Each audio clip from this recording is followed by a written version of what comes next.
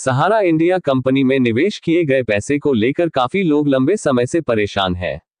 ऐसे में यदि आपने भी सहारा इंडिया कंपनी में अपने पैसे को रिफंड करवाने के, के लिए से काफ़ी लंबे समय से इंतज़ार कर रहे हैं। वहीं सहारा निवेशकों के लिए बड़ी खुशखबरी सामने आई है। बिहार में एक चुनावी रैली को संबोधित करते हुए केंद्रीय गृह और सहकारिता मंत्री अमित शाह ने भरोसा दिया कि निवेशकों का पाई पाई मोदी सरकार वापस करेगी। इस मसले पर काम चल रहा है।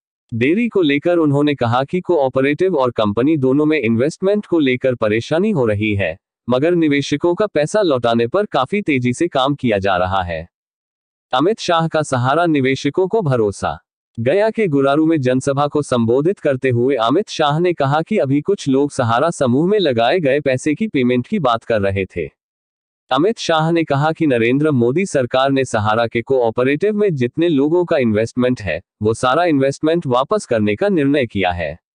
अभी आपको जो तकलीफ़ हो रही है, वो इसलिए पड़ रही है कि कुछ तो कोऑपरेटिव के डिपॉजिटर हैं और कंपनी के हैं। अभी कोऑपरेटिव का शुरू किया है, दस हज़ार तक ही नहीं लेना है। वो जितना पैसा वसूला है, वो सारा दे देना है। आप चिंता मत कीजिए। एक बार सुचारू रूप से दस हज़ार तक पेमेंट हो जाए, आगे की पेमेंट की भी शुरुआत हो जाएगी। ये भी पड़े लोकसभा में सबसे आगे बैठेंगे ये सांसद, इस बार नहीं दिखाई देंगे ये पाँच पुराने दिग्गज। जल्द मिलेगा निवेशकों का पैसा। पोर्टल लॉन्च करने के वक्त माना गया था कि 2024 के लोकसभा चुनाव से पहले सरकार का ये कदम मिडिल क्लास के उन वोटरों से जोड़ सकेगा, जिन्होंने सहारा के कोऑपरेटिवों में निवेश किया है। सहारा के जिन चार कोऑपरेटिव में लोगों का पैसा है, वो Sahara credit cooperative society limited, Saharayan universal multipurpose society limited, Humara India credit cooperative society limited और stars multipurpose cooperative society limited है। सहारा रिफंड न्यूज़ सहारा के निवेशकों की बात करें तो यूपी में सहारा की इन स्कीमों में पैसा लगाने वालों की तादाद पिचासी लाख है। इन लोगों ने बाईस हज़ार करोड़ रुपए का निवेश किया है। इसमें बिहार के 55 लाख निवेशक हैं तो झारखंड के 24 लाख इन्वेस्टर हैं। 2017-18 से निवेशकों को रिटर्न मिलना बंद हो गया। जिन्होंने सहारा इंडिया परिवार में अपना पैसा निवेश किया है और वह अपने पैसे को वापस करना चाहता है और उन्होंने आवेदन ऑनलाइन कर रखा है तो आपको बताते चले सहारा इंडिया रिफंड पोर्टल के द्वारा नई सूची जारी कर दी गई है जिन लोगों का नाम सहारा इंडिया के इस नई पेमेंट सूची में होगा। उन्हीं का पैसा बहुत ही जल्द वापस होगा। अगर आपका भी सहारा इंडिया में पैसा फंसा हुआ है और आप वापस करने के लिए ऑनलाइन आवेदन कर रखा है तो आज की इस आर्टिकल के माध्यम से आपको बताने वाले हैं सहारा इंडिया रिफंड पोर्टल के ज़रिए सूची कैसे आसानी से प्राप्त करें।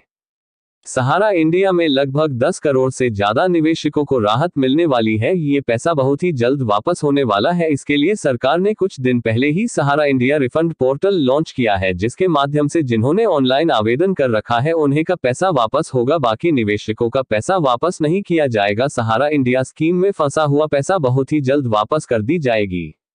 भारत सरकार द्वारा सहारा इंडिया में फंसे पैसे को निकालने के लिए एक नया पोर्टल जारी कर दिया गया है। इस पोर्टल के माध्यम से सहारा इंडिया निवेदक ऑनलाइन आवेदन कर आईपीओ अपना पैसा प्राप्त कर सकते हैं। ये सभी जानकारी पाने के लिए इस आर्टिकल को शुरू से अंत तक पढ़ना होगा। इस आर्टिकल में कंप्लीट जानकारी दी गई है। जैसा कि आप सभी नागरिकों को पता होगा, सहारा इंडिया बहुत बड़ी निवेश कंपनी थी, जिसमें कई नागरिकों ने अपने पैसा दिए थे, लेकिन सहारा इंडिया धीरे धीरे घाटे में जाने के कारण सभी निवेशकों का पैसा डूब चुका था। ऐसे में कई बार हंगामा आंदोलन होने के बाद भी निवेशकों को कोई राहत नहीं मिला। इसके पश्चात सरकार के द्वारा सभी निवेशकों को राहत देते हुए एक पोर्टल लॉन्च किया गया था। जिसके सहारे से सहारा इंडिया में फंसे पैसा वापस हो सके, इसके लिए ऑनलाइन आवेदन किया गया था। जितने भी सहारा इंडिया के नागरिक हैं, उन्होंने ऑनलाइन आवेदन कर चुके थे। ऑनलाइन आवेदन करने के बाद लिस्ट में जिनका नाम है, उन्हें का पैसा वापस होगा। इसके बारे में पूरी जानकारी इस आर्टिकल में दी गई है। जैसा की बता दे की सहारा इंडिया रिफंड पोर्टल के द्वारा आपके पैसे वापस पहले दस हज़ार किसमें किए जाएँगे।